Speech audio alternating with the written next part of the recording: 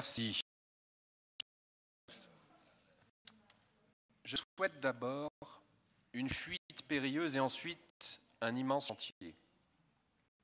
D'abord fuir la peste de cette tristesse gluante que par tombes entiers tous les jours on déverse sur nous, cette vase venimeuse, faite de haine de soi, de haine de l'autre, de méfiance de tout le monde, de ressentiment passif, contagieux, d'amertume stérile, de hargne persécutoire.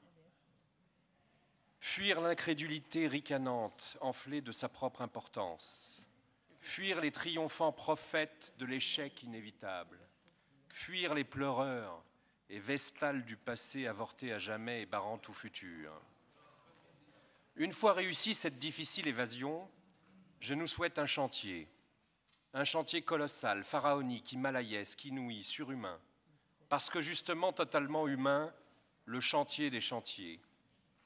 Ce chantier sur la palissade duquel, dès les élections passées, nos élus s'empressent d'apposer l'écriteau chantier interdit au public, je crois que j'ose parler de la démocratie. Ce petit extrait des vœux d'Ariane Mouchkine en 2014, parce que la poésie est souvent la plus belle parade aux attaques basses et diffamatoires que Philippe Mérieux, qui me l'a inspiré et qui ne peut être parmi nous ce matin pour raison de santé, en soit remercié. La vulgarité, Monsieur Marquiol, n'a jamais été la solution.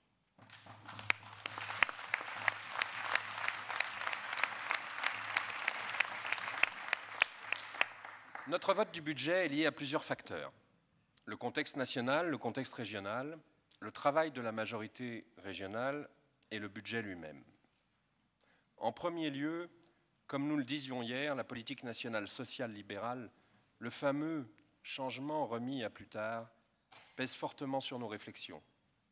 Pendant nos débats budgétaires, même hier, des élus de notre groupe et d'autres groupes ont évoqué bon nombre de décisions nationales qui vont clairement dans le sens inverse du projet que nous souhaitons porter, comme par exemple, et je ne les citerai pas tous, le crédit d'impôt compétitivité emploi qui a apporté des centaines de millions d'euros à des entreprises rhône-alpines, dont certaines plutôt solides continue de bénéficier des soutiens de la région, comme au travers des clusters, comme l'ont dit nos collègues du Front de gauche, mais aussi comme la SNCF, qui a continué d'augmenter ses tarifs aux usagers. La loi Macron, qui propose des solutions mises en œuvre dans la première moitié du XXe siècle et qui ose se dire loi de modernité. Le recul sur la taxe kilométrique poids lourd, que certains ont voulu nommer écotaxe, et qui n'était qu'une petite partie du juste coût du routier, comme l'ont compris d'ailleurs la plupart des pays européens. En second lieu, le contexte régional. Un certain nombre de nos collègues élus régionaux s'en sont rendus compte. Les relations sont tendues entre certains élus de la majorité et notre groupe. Nous avons pu lire dans la presse que de vert, nous devenions gris. Hier, nous avons carrément été accusés de crimes contre l'esprit.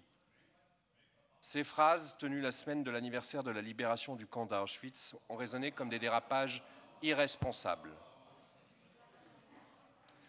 D'autres nous ont dit que nous avions oublié qui était président de la majorité. Nous voudrions les rassurer, nous n'avons pas oublié que nous avons élu M. Kéran avec tous les autres conseillers régionaux de la majorité, président de région et donc par conséquent aussi président de cette majorité. La divergence ne se situe pas du tout là. Les écologistes, et je vous l'ai expliqué hier matin, ont beaucoup de mal à se retrouver dans la culture de cette cinquième république plus monarchique à tous les échelons que la plupart des monarchies européennes. Nous pensons que les présidents, les maires, ne doivent pas être des monarques, encore moins des roitelets, comme l'exprime si bien aussi Ariane Mouchkine. Au-delà de la nécessaire séparation des pouvoirs entre un exécutif et le délibératif que nous espérons, nous pensons qu'un président de groupe, comme un président de majorité, est plus un animateur, un catalyseur d'une dynamique collective qu'un maître à penser. Il est vrai que notre Constitution et le fonctionnement de nos institutions portent une grande responsabilité dans cette culture peu démocratique, comme l'explique très bien Thomas Legrand dans son dernier essai. D'autre part, nous avons aussi lu, dans le Dauphiné libéré, qu'il n'y aurait pas d'accord en 2015 entre nous sans le Lyon-Turin. À un mot près, ce qui est peu convenaisant, nous sommes donc presque en phase. En effet, il n'y aura pas d'accord entre nous en 2015, ni sur le Lyon-Turin, ni sur les, autres, les autres grands projets inutiles. Enfin, il y a le dossier rail, qui nous semble particulièrement symbolique d'une gestion de la collectivité de l'argent public en totale contradiction avec les valeurs que nous souhaitons porter. À cette gabegie de plusieurs dizaines de millions d'euros s'adjoint une question de transparence, donc de démocratie.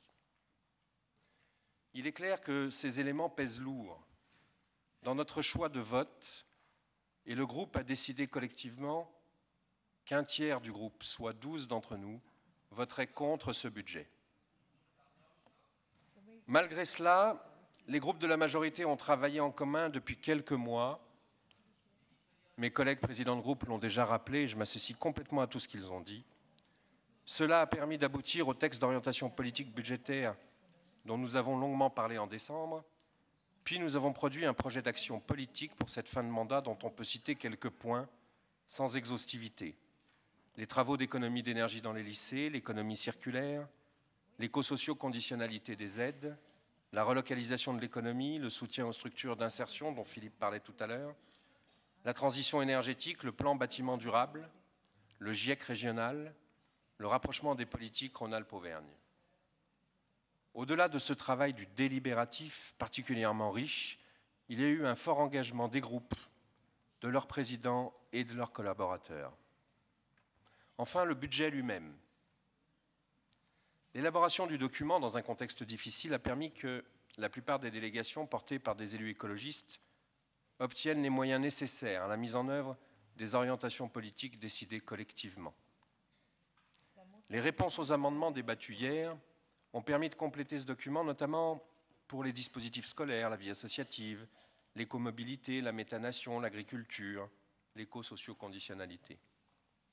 Alors, alors, parce que le bilan de l'action des élus écologistes dans leur ensemble et en particulier des membres de l'exécutif est largement reconnu par les citoyens, parce que nous avons la volonté de poursuivre ce mandat jusqu'au bout, comme nous l'ont confié les électeurs, parce que le résultat des négociations budgétaires dont je viens de parler est positif, parce que nous croyons fortement que l'avenir de la région passe par la solidarité et la transition écologique, comme nous l'avons écrit dans nos orientations. Enfin, parce que nous croyons que le seul projet d'avenir est celui du rassemblement des écologistes de la gauche et de toutes les forces alternatives, le rassemblement de tous ceux qui sont opposés à la course au profit mortifère et qui ne, qui cesse d'aggraver les inégalités le rassemblement de tous ceux qui préfèrent la coopération à la compétition, le rassemblement de tous ceux qui, tels le colibri, font leur part et ne cherchent pas à retrouver la croissance définitivement perdue, mais l'espoir. Alors, le choix que le groupe a décidé de faire collectivement est que deux tiers du groupe, soit 23 d'entre nous, voteront pour ce budget. Merci.